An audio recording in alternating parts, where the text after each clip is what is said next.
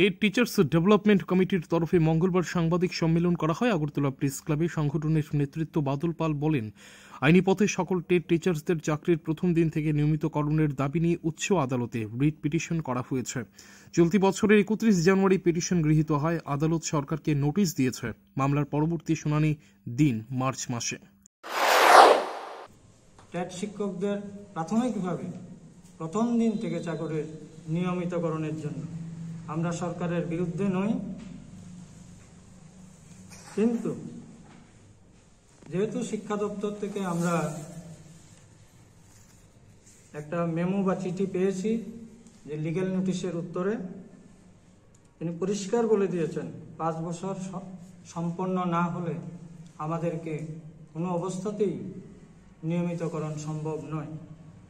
তাই আমরা ওই অর্থ দপ্তরে দুটো মেমোকে চ্যালেঞ্জ করে